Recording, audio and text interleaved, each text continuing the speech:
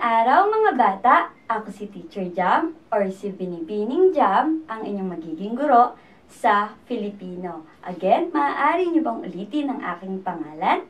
Ako si Binibining Jam, magaling. At para sa aralin natin sa araw na ito, ay pag-uusapan natin ang pangalan. Again, ano nga ulit ang ating pag-uusapan? Pangalan. Mahusay. Ngayon, nais kong mag-isip kayo ng natatandaan ninyo tungkol sa salitang pangalan. Ano ba yung mga uh, napag-aralan ninyo tungkol sa pangalan noon? I'll give you 5 seconds to think. Bibigyan ko kayo ng limang segundo upang mag-isip kung ano ang inyong natatandaan tungkol sa pangalan. Okay, ngayon naman ay panahon na para ibahagi ninyo sa akin ang inyong mga kaalaman. Okay, magandang ideya. Ngayon ay ako naman ang magbabahagi sa inyo ng aking kaalaman tungkol sa pangalan. Handa na ba kayong makinig? Kung handa na kayong makinig, ay simulan na natin. Okay, ang pangalan or in English, noun, again, pangalan, noun. Maaari nyo bang ulitin? Very good. Ang pangalan or noun ay ang salitang tumutukoy sa mga tao, bagay, hayop, lugar o pangyayari. Again, pag sinabing pangalan, ito ang tawag sa mga salitang tumutukoy sa ngalan ng tao, bagay, hayop, lugar or pook at pangyayari. Okay, may alam ba kayong pangalan? Maaari niyo bang sabihin to sa akin? Okay, tingnan natin kung tama ang inyong kasagutan. Base sa mga sinabi ko, gaya ng tao, bagay, hayop, lugar at pangyayari, ito ay tinatawag na kategorya ng pangalan. Again, maaari niyo bang ulitin? Kategorya ng pangalan. Very good. Ang kategorya ng pangalan ay yung lima na aking nabanggit. Yung tao, bagay, hayop, lugar o pangyayari, yung mga pangalan na ginagamit natin para sila ay matukoy or yung mga binigay nating pangalan sa kanila. Para mas maintindihan ninyo, ay may halimbawa akong inilaan para sa inyo. At sa halimbawang ito, umpisahan natin sa tao. Ang ibinigay kong halimbawa ay Juan. Iyan ay Isang halimbawa ng ngalan ng tao, Juan. Kayo, ano ba ang alam ninyong pangalan ng tao? Okay? Maaaring binibining jam kayo, ano bang pangalan ninyo? Okay, yan ay halimbawa rin ng pangalan at maaari din yung mga trabaho o hanap buhay na tumutukoy sa tao or yung mga hanap buhay ng tao gaya ng guro, polis, doktor, at marami pang iba. Okay? Naintindihan?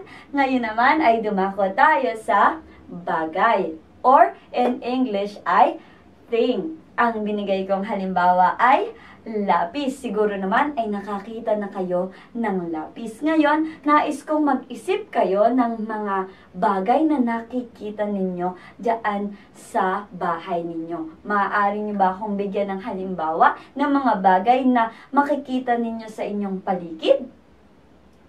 Okay, mahusay. Naway nagbibigay kayo ng inyong sariling halimbawa upang mas maintindihan ninyo ang aralin natin sa araw na ito. Next, dumako tayo sa hayop. Ang binigay kong halimbawa ay ibon. Iyan ay isang halimbawa ng hayop. Maaari nyo ba akong bigyan ng mga halimbawa ng hayop? Okay, napakarami niyong alam ng mga hayop gaya ng ibon, aso, pusa, tigre, leon at marami pang iba. Maaari din ang mga tiyak na tinatawag natin sa kanila o yung mga ipinangalan natin sa mga alaga nating hayop tulad ng um, Blackie, Kitty, at marami pang iba. An kayo, anong tawag ninyo sa alaga ninyong hayop? Okay, mahusay. Napakagandang pangalan. Ngayon naman ay dumako tayo sa lugar or pook or sa English ay tinatawag na place. Ito yung mga pinupuntahan natin. Ang binigay kong halimbawa ay parke. Nakapunta na ba kayo sa parke or park? Okay, sana ay nakapunta na kayo dito. Okay? Ngayon naman ay nais kong um, magbahagi kayo sa akin ng mga lugar na napuntahan ninyo na bukod sa parke or park. Okay, palengke. Ano, ano pa kaya? Paaralan. Ano ba ang alam ninyong mga lugar? Maaari nyo bang sabihin sa akin? Okay, mahusay. Ngayon naman ay dumako tayo sa pangyayari. Pag sinabing pangyayari or in English event, ito yung mga ipinagdiriwang natin. Kagaya ng sa aking halimbawa, Pasko or in English, Christmas. Okay? Maaari nyo ba akong bigyan ng halimbawa or iba pang halimbawa ng pangyayari bukod sa Pasko? Maaari? Bagong taon or New Year. Ano ba kaya? Araw ng mga puso o Valentine's Day. Ano pa? Araw ng Kalayaan or Independence Day. Mahusay at alam kong marami pa kayong mga ipinagdiriwang. Ngunit, dyan nagtatapos ang aking mga halimbawa. Nais kong mag-isip pa kayo ng mas maraming halimbawa upang malinang ang inyong kaalaman tungkol sa kategorya ng pangalan. Again, ano nga ang limang kategorya ng pangalan? Tao, bagay, hayop, lugar, at pangyayari. Magaling! Ngayon naman ay dumako tayo sa susunod nating paksa sa araw na ito. Ito ay tinatawag na uri ng pangalan. Alam nyo ba ang dalawang, ang dalawang uri ng pangalan? Okay, again, ilan nga ang uri ng pangalan? Dalawa, alam nyo ba ang mga tawag sa dalawang uri ng pangalan? Okay, kung hindi pa ay aking sasabihin ito sa inyo. Ang dalawang uri ng pangalan ay tinatawag nating pantangi at pambalana. Again, pantangi at pambalana. Okay, ngayon ay umpisahan natin sa pagpapaliwanag kung ano ba ang pantangi. Handa na ba kayong makinig? Okay, pag sinabing pantangi or pangalang pantangi, in English, proper noun. Again, pangalang pantangi, proper noun. Okay, ito ay tumutukoy sa tiyak na ngalan ng tao, bagay, hayop, lugar, at pangyayari. At iba pa. Okay? Pag sinabing tiyak, specific sigurado ka sa pangalan niya. Okay? For example, ang tiyak na pangalan ko ay Joyce Ann May or kaya naman Jam. Okay? Yun yung tiyak na pangalan ko. Yun yung ibinigay sa akin. Um, kagaya ninyo, ang mga pangalan nyo ay halimbawa ng pangalang pantangi or proper noun. Yung mga tiyak na pangalan ng tao, bagay, hayop, lugar, at pangyayari. Para mas maintindihan ninyo ay may inihanda akong halimbawa. Ngunit bago ko sabihin ng mga halimbawang ito, ay nais kong tandaan ninyo na ang pangalang pantangi or proper noun ay laging nagsisimula sa malaking titik. Again, nagsisimula sa malaking titik o capital letter. Kagaya ng sa halimbawang ito, para sa tao, ang ginamit ko ay kaila. Ang kaila, kung makikita ninyo, ay nagsisimula sa malaking titik. K. Very good. Malaking titik na K. At yan ay isang tiyak na pangalan ng tao. Okay, next. Para naman sa pangalang pantangi ng hayop, ang ibinigay kong halimbawa ay brownie. Yan ay isa sa madalas na ipinapangalan natin sa ating mga alaga. Okay, brownie kayo. Yung mga pangalan ng mga alaga nyong hayop ay halimbawa rin yan ng pangalang pantangi. May naiisip ba kayong pangalang pantangi ng para sa hayop? Maaari nyo bang sabihin ito? Okay, mahusay. Ngayon naman ay dumako tayo sa pangalang pantangi ng bagay. Okay? Ang binigay kong halimbawa ay Mongol. Yan ay isang tatak or brand ng isang lapis. Ibig sabihin, ito ay tiyak na ngalan ng isang lapis or ng isang bagay. Maaari ding Toyota, Honda, at yung mga iba pang tatak ng mga bagay na ginagamit natin. Okay? Yun ay um, tinatawag na pangalang pantangi. Ngayon naman ay dumako tayo sa pangalang pantangi ng lugar. Ang binigay kong halimbawa ay Pilipinas. Very good. Again, kindly read. Pilipinas. Diyan tayo nakatira. Diyan nakatira ang mga Pilipino. Okay? Yan ay isang pangalang pantangi ng isang bansa. Okay? Kung makikita ninyo, ito ay nagsisimula sa malaking titik, P. Very good. Now, let's move on sa pangalang pantangi ng pangyayari. Again, ang binigay kong halimbawa ay Pasko or Christmas. Iyan ay isang tiyak na pangyayari. ba? Kayo, ano pang alam ninyong tiyak na pangyayari or event? Yung proper noun. Okay? Naway tama ang inyong kasagutan. Okay, ngayon naman ay dumako na tayo sa pangalang pambalana. Sana ay naiintindihan ninyo ang ating aralin sa araw na ito dahil ngayon ay nasa um, ikalawang uri na tayo ng pangalan na tinatawag na pangalang pambalana or in English, common noun. Again, pangalang pambalana, common noun. Ang pangalang pambalana ay tumutukoy sa pangkalahatang tawag sa ngalan ng tao, bagay, hayop, lugar o pangyayari. Inuulit ko, pangkalahatang tawag or yung common na tinatawag natin sa mga pangalan. Okay, para mas maintindihan ninyo, ay may inilaan akong halimbawa para sa inyo. Ngunit kung kanina ang pangalang pantangi ay nagsisimula sa malaking titik, ang pangalang pambala na naman ay nagsisimula sa maliit na titik. Okay? Again, pangalang pantangi, malaking titik, pangalang pambala na maliit na titik.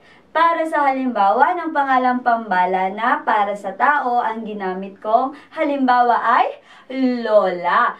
Lola lang yung sinabi. So, ito ay pangkalahatang tawag. Hindi sinabi kung sinong Lola. Basta Lola. Okay? Kaya yun ay tinatawag na pangalang pambala na hindi sinabi kung si Lola Maria, si Lola ano, or kung anumang pangalan ng Lola. Okay? Kaya yun ay tinatawag na pangkalahatang tawag or pangalang pambala na. Okay? Ibig sabihin, hindi ito specific. Naintindihan? Okay, next. Para sa hayop, pakibasa nga. Pusa. Very good. Ang basa dyan ay pusa. Yan ay isa ring halimbawa ng pangkalahatang tawag dahil hindi naman sinabi kung ano kung anong pangalan ng pusa or kung anong um, lahi ng pusang iyon. Basta sinabi na pusa. Kaya ito ay pangalang pambalana. Next is, para naman sa bagay, ang ginamit ko ay lapis. Ito ay pangalang pambala na rin dahil hindi din sinabi ang tiyak na tawag dito. Okay? Maaari nyo ba akong bigyan ng halimbawa ng pangalang pambala na para sa bagay? Mahusay! Ngayon naman ay dumako tayo sa pangalang pambalana ng pa ng lugar. Ang halimbawa ko ay paaralan or school. Ibig sabihin, kaya yan tinawag na pangkalahatang tawag or pangalang pambala na dahil hindi sinabi kung anong pangalan ng paaralan. Basta, paaralan. Okay? Next is, para sa pangyayari, ang binigay ko naman ay kaarawan. Okay? kaarawan or birthday. Ito ay pangalang pambala na rin dahil hindi naman sinabi kung sino ang may birthday. Basta, birthday. Okay? Or kaarawan. Naintindihan? Okay, dyan nagtatapos yung um, topic natin tungkol sa uri ng pangalan, yung pantangi at pambala na. Ngayon naman, ay nais kong malaman ninyo na may dalawang uri ang pangalang pambala na. May ideya ba kayo kung ano ang dalawang ito? Kung wala, ay sasabihin ko sa inyo. Ang dalawang uri ng pangalang pambalana ay tinatawag na konkreto at di konkreto or in English, concrete nouns and abstract nouns. Again, konkreto, concrete nouns. Di konkreto, abstract nouns. Okay? Pag sinabing konkreto, ito yung mga pambala ng pangalan na nakikita natin at nahahawakan. Again, pag sinabing pangalang pambala na, na konkreto, ito ay nakikita natin at nahahawakan. Pag naman sinabing hindi konkreto, ito ay ang mga pambala ng pangalan na nararamdaman o naiisip lang natin, hindi natin nakikita o nahahawakan. Para sa halimbawa ng konkreto ay lupa at bundok. Ito ay nakikita natin at nahahawakan, di ba? At ito ay saring halimbawa ng pangalang pambala na. Ngayon naman, uh, para sa halimbawa ng di konkreto or yung naiisip lang natin at nararamdaman ay pagtanda at pagmamahal. Okay? Pagmamahal, ito ay nararamdaman lang natin, ngunit hindi natin ito nahawakan o nakikita. Naintindihan ang pinagkaiba nito? Okay, magbalik-aral nga tayo sa ating pinag-aralan kanina. Again, ano ang pinakapaksa natin sa araw na ito? Pangalan, very good. Ano nga yung lima? Kategorya ng pangalan. Eh, yung sumunod na dalawa, uri ng pangalan. Ano nga ang mga uri ng pangalan? Pantangi at pambalana. Next, ano naman ang dalawang uri ng pambalana? Konkreto at hindi konkreto. Sa tingin ko ay handa na kayo sa gawain natin para sa araw na ito. Uh, ihanda ninyo ang inyong mga aklat na gintong diwa para umpisahan na natin ang gawain sa araw na ito. Para sa araw na ito, nais kong gawin ninyo ang sumusunod. Para sa kwento, basahin ang ate kapatid mula sa pahina 3 hanggang 5. Uulitin ko, basahin at unawaing mabuti ang ate kapatid na matatagpuan sa pahina 3 hanggang 5.